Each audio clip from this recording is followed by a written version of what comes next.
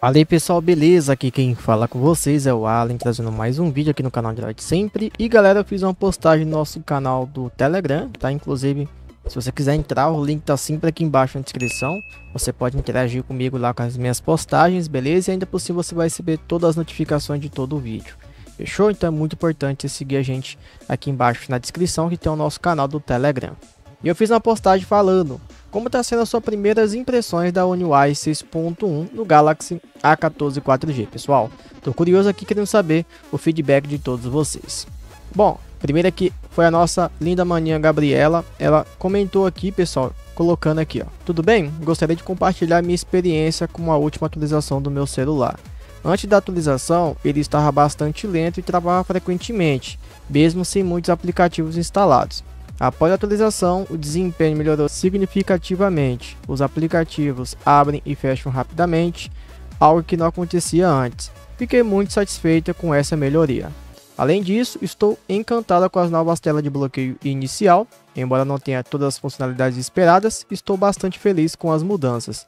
Notei também melhorias no teclado, que está mais responsivo, mas o que mais me agradou foi a redução dos travamentos. Inclusive aí, obrigado, maninha, por ter passado aí o feedback pra gente aí, tá bom? Muito obrigado, maninha, Gabriela, por ter digitado aí bonitinho aí a sua experiência aí no A14 4G. Depois que atualizou pro One UI 6.1. Próximo aqui é o Char. Mano, sinceramente, ele tá muito mais liso do que quando lançou o Android 14. Da One UI 6.0 as animações eram meio travadas, agora está muito mais lisas. Isso é muito bom.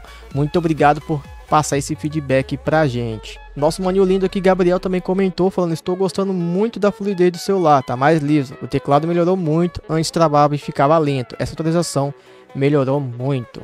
E a nossa mania Gabriela complementou mais aqui o seu feedback, falando, enquanto a bateria ainda não notei nenhuma diferença, pois realizei a atualização apenas ontem.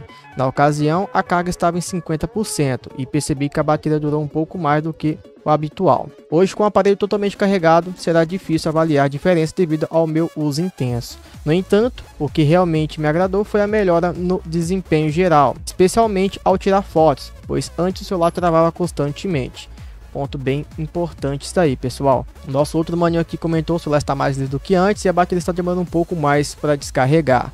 O nosso querido aqui também, Guizin, comentou, tá mais rápido, só que o meu tá com bug na central de notificações. Ó, ele falou que o dele tá mais rápido, mas porém tá com esse bug aqui na central de notificações. Nem todo mundo vai ter a mesma experiência, né, pessoal? Então, por isso que eu sempre falo para vocês, se tiver com bug, você formata. Se não tiver, não precisa formatar aí, beleza? Próximo aqui é do nosso maninho Matheus, Matheus Cursino. Muito obrigado de coração, meu querido.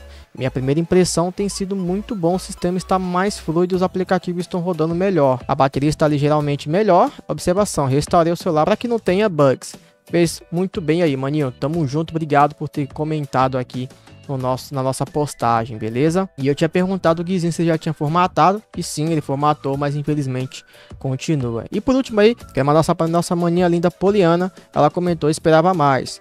Quase tive um treco pra nada. Achei que ia ter a AI, a tela de bloqueio não ficou parecida com os outros, tipo A55, mas tá ótimo. Pois é, mano, como foi para vocês não ficarem tanto ansiosos, porque como veio no Galaxy A15, não veio com todas as funcionalidades. Se não me engano, os modelos que veio com todas as funcionalidades foi o M23 5G, o Galaxy A34, A35, esses modelos que tem todas as funcionalidades aí, já que esses modelos têm hardware bem mais forte, né?